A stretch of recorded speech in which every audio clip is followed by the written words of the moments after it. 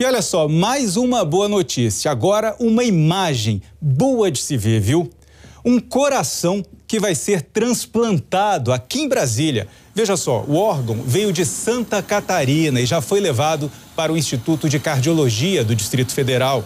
No início da tarde desta quarta-feira, o coração chegou ao Aeroporto Internacional de Brasília, em um avião da Força Aérea Brasileira, FAB. Em seguida foi levada por este helicóptero aí que a gente vê para o Instituto de Cardiologia e Transplantes do DF, pela Unidade de Operação Aérea do Detran, em um voo que durou cerca de quatro minutos. Foi bem rápido.